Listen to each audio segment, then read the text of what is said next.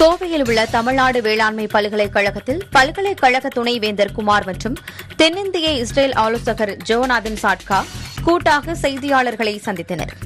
அப்போது அவர்கள் கூறுகையில் தமிழ்நாடு வேளாண் பல்கலைக்கழகம் இஸ்ரேல் நாட்டுடன் இணைந்து பல்வேறு துறைகளை மேம்படுத்த ஆய்வு மேற்கொண்டதாகவும் விவசாயத் துறையில் புதிய கண்டுபிடிப்புகள் குறித்த ஆலோசனைகள் மேற்கொள்ளப்பட்டதாகவும் தெரிவித்தனர்.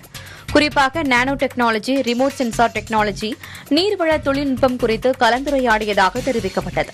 ஸோ மொத்தத்தில் இன்றைக்கி ஒரு நல்ல ஒரு ஃப்ரூட்ஃபுல் டிஸ்கஷன் இது இன்றைக்கி ஆரம்பம் தான் சொல்லலாம். ஏன்னா இது ரெண்டாவது தடவை வராங்க அவங்க.